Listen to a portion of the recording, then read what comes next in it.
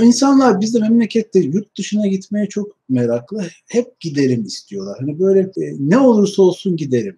bir şekilde kapağı yurt dışına. Ama bence bu bir amaç olmamalı. Yurt dışına gitmek bir amaç olmamalı. Bir araç olmalı. Hani yapacağınız bir iş var. Bir konuda teknik nitelik kazanmak istiyorsunuz. İşte bu da ancak orada oluyor gibi. Olursa daha hedefe dönük olur diye düşünüyorum ben. Şimdi arkadaşlar nasıl oluyor? Biz TOBÖTÜ'de öğrencileri aldıktan sonra genelde birinci, ikinci sınıf civarı e, hani derslerde başarılı olan arkadaşları davet ediyoruz. Araştırma projelerimize, laboratuvarlara davet ediyoruz. Yani gel katkıda bulun, bir şeyler yap diye. Çünkü sen eğer bitirdiğin zaman dördüncü sınıfı bitirdiğinde yurt dışına gideceksen çalışmak için söylemiyorum bunu. Çalışmak için de elbette bazı projelerde yer almak iyi olur ama hani gideceğin zaman yüksek lisans doktoraya özellikle gideceksen göstereceğin bir şeyler olması gerekir.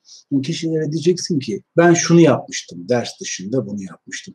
Öğrenci gelip böyle bazen referans mektubu istiyor. Yani ben de tamam yazarım diyorum ama şimdi düşünürseniz dersimizi alan birçok öğrenci var ve benim dersimi aldı. Dersimden de şöyle bir not aldı. A aldı diyelim ki. Demek ki çok bir bilgi içermiyor. Çünkü zaten o aldığı not öğrenci not dökümünde görülüyor. Hani ben referans olacaksam, bir şey yazacaksam bir iş yapmış olması lazım kişinin. Şimdi biz genellikle referansı biraz yanlış anlıyoruz. Yani Türkiye'de torpil olarak kullanılıyor bu. Yurt dışındaki kişilerse hani bunu hakikaten danışılacak bir mekanizma olarak görüyor. Birçok arkadaşım var benim işte Binghamton'da Dimitri var. Yani bu aralar işbirliği yaptıklarımızı söylüyorum. Edinburgh'da Boris var.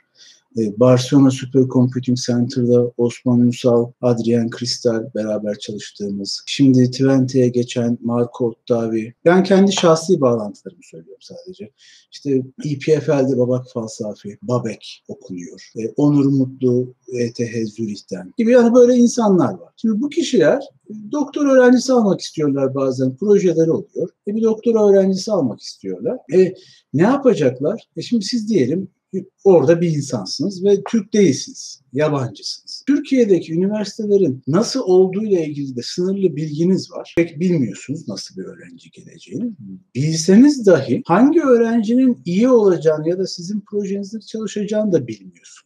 Ne yaparsınız? E, bir arkadaşınıza sözüne güvendiğiniz bir insana sorarsınız. Değil mi? E şimdi açıp e diyor ki ya bak ben bir projem var diyor Dimitri mesela işte geçen almışlar Amerika'da. E çalışacak eleman lazım iyi öğrencilerden var. Şimdi niye soruyor? Çünkü benzer alanda çalışıyoruz. E biliyor bizim neler yaptığımızı.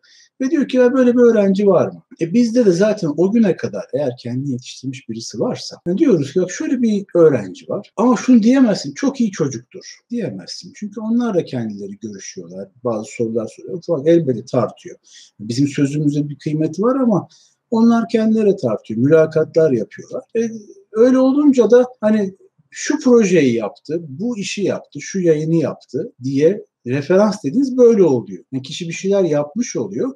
Bizim üstümüze düşen de o kişinin hani normalde tanımadığı, tanışmayacağı kişilerle bağlantıyı sağlamak oluyor. Hani İngilizce tabiri network deniyor ya. Bir bağlantı sağlamak oluyor. Zaten üniversitenin size verebileceği şeylerden bir tanesi budur. Ha, TOBÖTÜ'de böyle bu şekilde şahsen arayarak stajlarını öğrencilerin işte şahsen arayarak insanları ya da doktoraya gideceklerken hani referansın ötesinde beraber çalışmalarını sağlayarak yani bir süre yurt dışındaki kişilerle birlikte bir proje yürütürlerse burada insanlar o zaman tabii o karşıdaki kişi tanıyor öğrenciye. Nasıl çalıştığını görmüş oluyor. Ortak eğitimin başka bir türü diye düşünebilirsiniz. TOBÖTÜ'de yaptığımız ortak eğitimin başka bir türü diye düşünebilirsiniz. Bu şekilde yurt dışına gitmek hem daha hedefli oluyor. Öğrenci hangi alanda çalışacağını biliyor. Gideceği kişiyle önceden tanışmış oluyor. Bursu ayarlanmış oluyor.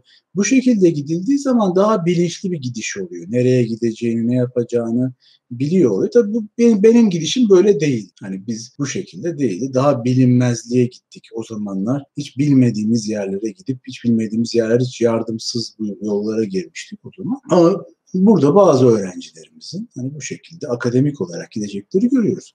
E şirketlere gidecek arkadaşlar da e, mülakatlara giriyorlar. Bu kadar da zor değil aslında çünkü çok aranıyor şu anda. Hollanda'da, Amerika'da çok bu şekilde insan aranıyor. Bunun teknik niteliği olan insanlar aranıyor. E gidip bir mülakata başvurup birkaç hani görüşme yaptığınızda size sordukları şey ne yine? E ne yaptın? Yani sen ne yaptın? Hangi projeye çalıştın? Bizim bu yapacağımız işe uygun musun? E onu nasıl göstereceksiniz? İş deneyimiyle göstereceksiniz. Zaten bizim bu üç buçuk aylık stajlarımızın iyi olmasının bir nedeni de bu. Anlatacak bir hikayeniz var. Özgeçmişinize yazacağınız fazladan bir satır var. Değil mi?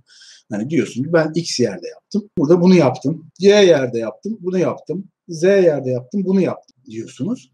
Böyle arka arkaya yazıyorsunuz. O zaman karşıdaki göz bakıyor. Kendi projesinde bir, bir iş yapacak.